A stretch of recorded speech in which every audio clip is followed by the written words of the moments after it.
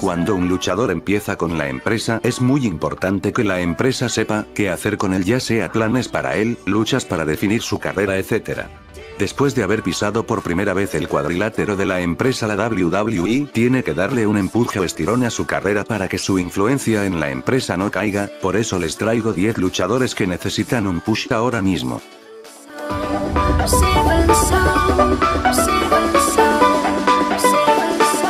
Número 10. Aiden English. Después de graduarse en Columbia, Revolt empezó a entrenar como luchador profesional. Debutó en el circuito independiente de Illinois en 2011 bajo el nombre de Mad Marquet. Revolt firmó un contrato con la WWE a principios de 2012, y fue asignado al territorio de desarrollo, Florida Championship Wrestling, FCW, donde empezó a luchar bajo el nombre de Aiden English. El debut televisivo de English tuvo lugar en el segundo episodio de NXT filmado en Full Sail University, siendo derrotado por Leo Kruger. A lo largo del año, English fue utilizado principalmente como jover, perdiendo ante luchadores como Bray Wyatt, y Biggie Langston, entre otros. El 19 de julio, Devau de Villains fueron mandados a la marca SmackDown debido al draft y a la nueva separación de marcas. El 5 de abril, el equipo de Devau de Villains llegó a su fin después de que Gotch fuera liberado de su contrato con la WWE. Recientemente ha estado siendo compañero de Rusev, donde tuvieron oportunidades cuando se enfrentaron a los usos. También entró como número uno en este Royal Rumble, pero no ganó debido que lo sacó Finn Balor. Para mí Aiden English tiene talento, pero la empresa no quiere darle un push por sus atributos o ya sea porque no le escogen un personaje que le quede o no tienen planes.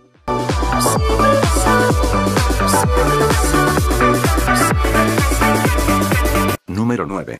Bo Dallas. Este men hizo su debut en el 2008 y fue asignado al territorio de desarrollo Florida Championship Wrestling. En 2012, cuando la WWE renombró a la FCW como la NXT, Rotunda, su nombre antiguo, hizo su debut en televisión el 20 de junio, con un gimmick de un hombre feliz y afortunado y bajo el nombre de Bo Dallas. Bo Dallas abandonó NXT dos veces, una en el 27 de marzo y 22 de mayo del 2014. Dallas hizo su regreso al roster principal el 23 de mayo en SmackDown, derrocando a Sin Cara, a quien volvió a vencer el 26 de mayo en Raw. Ya en 2015, 2016 y 2017 no hizo nada relevante, solo recordamos que hizo equipo con The Social Outcast en abril de 2016. En el presente está haciendo equipo con el Mythic Curtix Axel. Para mí es uno de los luchadores más infravalorados de la WWE.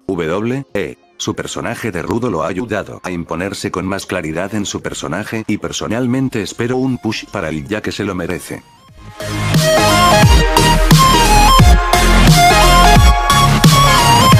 Número 8.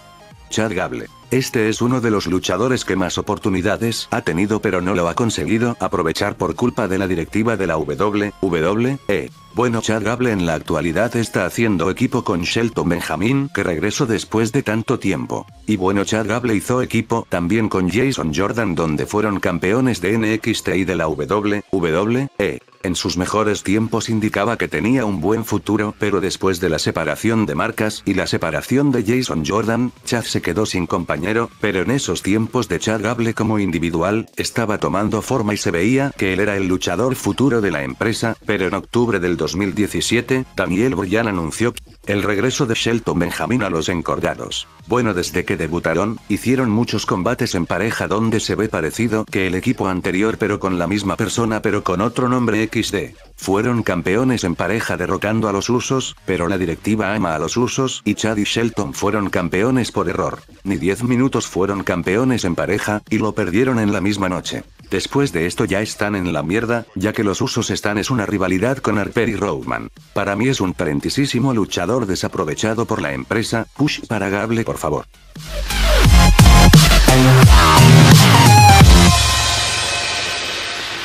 Número 7. Curtix Axel. Otro joven como Bo Dallas, hizo su debut en la WWE en 2010, uniéndose a The Nexus bajo el nombre de Michael Mjilikuti. Desde que ese grupo de los Nexus estuviese, Curtix tenía el papel indicado. Pero después de la separación de los Nexus, todos los integrantes se fueron caída abajo ya que casi todos de ellos son joggers ahora mismo. En el episodio del 20 de mayo de Raw, Enid fue renombrado bajo el nombre de Curtis Axel, y fue presentado como el nuevo cliente de Paul Heyman. En Payback, Axel derrotó a Wade Barrett y Demis en un triple threat match para ganar el campeonato intercontinental, su primer título de manera individual dentro de la WWE. La victoria de Axel lo llevó a unirse a su padre Mr. Perfect como el único dúo padre e hijo que ganó dicho campeonato. Lo perdió ante Big primero, terminando su reinado en 155 días. En la actualidad está haciendo equipo con Bodalas y el Miz. Lo que están haciendo con Curtix Axel es un desaprovechamiento de otro luchador talentoso. Un push para Curtix por favor.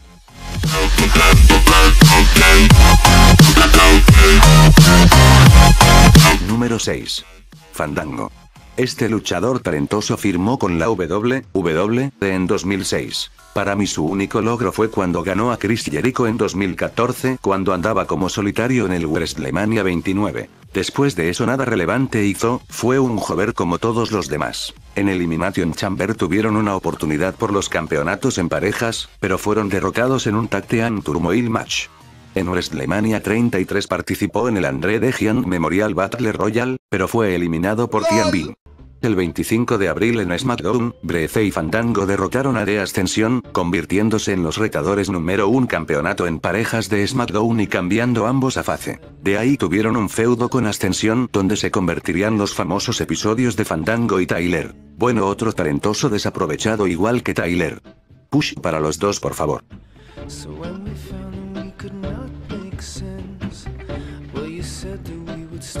Número 5. Eat Slater. Saliendo de Virginia Occidental, Slater llegó a la WWE como un novato en la primera temporada de NXT.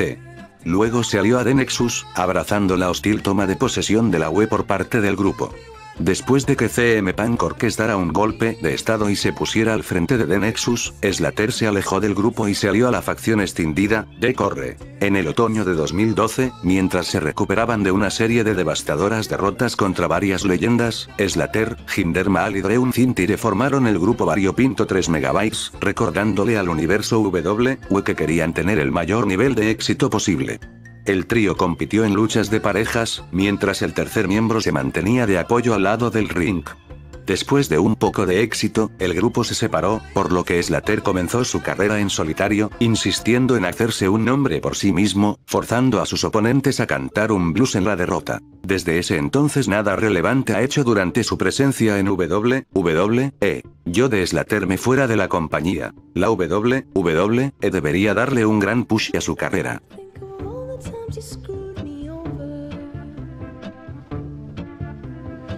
Número 4. Moyo Rawley. El 19 de julio, Rawley fue llamado en el roster principal como una selección suplementaria en el draft de la WWE del 2016, siendo seleccionado en la onceava ronda por SmackDown donde su compañero de DIP Bros Zack Ryder también fue seleccionado también. Hizo su debut en el roster principal en Battleground, ayudando a Ryder a ser defendido después de la pelea con Rusev. DIP Bros pasó a tener una racha ganadora ganando en Main Event y Superstars derrotando a Devau de Villains, y de Ascensión. DIP Bros ganaron una Multi-Team Battle Royal para un combate contra The Wyatt Family con el SmackDown Tag Team Championship en juego, pero Ryder sufriría una lesión en la rodilla, perdiendo su oportunidad por el título.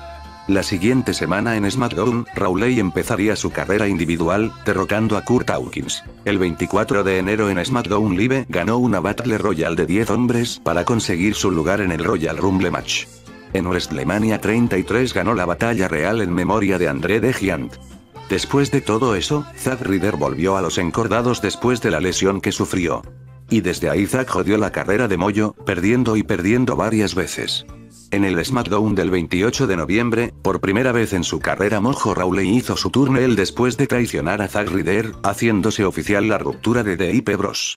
Un equipo que iba a tener futuro pero ya no. Ahora espero que Mojo tenga su oportunidad al campeonato estadounidense o mundial. Ya que para mi Moyo es un talentoso luchador que siempre ha estado en mi cabeza su personaje y cómo lo desempeña. Es como si fuese Big Cash, pero en SmackDown. Un push para Moyo por favor.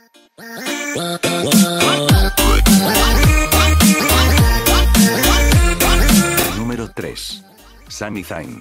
Este talentoso luchador es uno de los personajes más queridos por la gente pero desaprovechado por la empresa. Sami desde que debutó en el roster principal no ha conseguido ni un miserable título.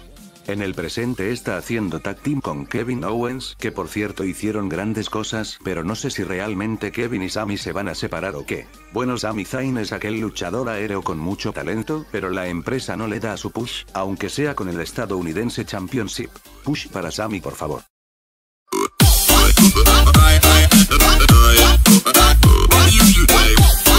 Número 2. Apollo Creus. Hizo su debut como face en el plantel principal en Raw en una lucha donde venció a Tyler Breeze. Creus entró en un feudo con The Social Outcast logrando derrotar a todos los miembros del equipo, acumulando victorias sobre luchadores como Curtis Axel y Adam Rose. El 18 de abril en Raw, Creus accedió a la petición del líder de The Social Outcast, E.A. Slater, de unirse al equipo en caso de ser derrotado una vez más por uno de los miembros del estable, logrando derrotar a Slater esa misma noche.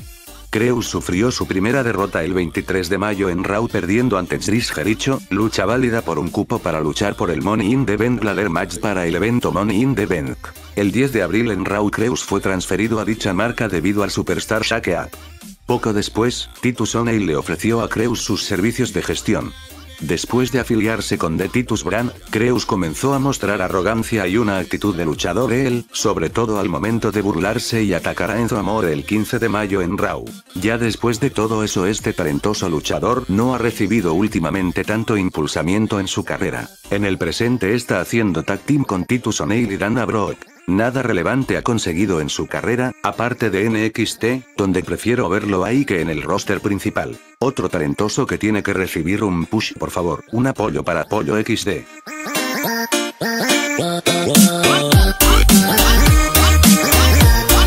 Número 1. Ty Dillinger.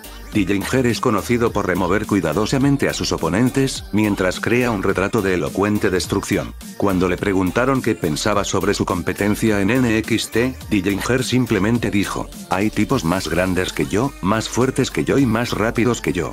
Sin embargo, si quieren ser considerados los mejores aquí en NXT, tendrán que ser mejores que Ty Dillinger. Les deseo a todos buena suerte con eso. Este talentoso luchador debutó con la marca SmackDown Live en el 2017 en el evento del Royal Rumble. Recientemente la empresa no sabe qué hacer con él, están pensando en quitarle el molesto Teno conocido en español como 10. Bueno está siendo desaprovechado en el roster principal, porque en NXT estuvo más posicionado, para mí hubiese esperado que Tai debutará un poco más tarde para seguir mejorando en NXT. Espero que hagan algo con este talentoso o se va de la empresa si él desea. Para mí mejor que se vaya a Raw, donde bien podría empezar un feudo con el Miz por el campeonato intercontinental. El talento más desaprovechado de esta lista. Bueno ahora pasemos a los saludos del día. Saludos a mi gran amigo Joel WWE. Por cierto les recomiendo muchísimo ir a su canal, hace buenos vídeos de noticias de la empresa, cosas para variar de WWE. Muy bueno su canal suscríbanse y ayúdenle crecer a este talentoso. Otro gran saludo para el canal Telauti YouTube, él también tiene un canal visítenlo. Otro saludo también para mi amigo Gerardo Rizo, que siempre está en los comentarios, gracias, y otro saludo más para entretenimiento legendario. Chequen su canal está buenísimo, y ayúdenle a llegar a los 100 subs, que él también sube WWE. El video ha finalizado, espero que haya sido de tu agrado. Dale like y suscríbete para mandar más saludos a todos los canales que me vayan dejando en los comentarios. Hasta la próxima.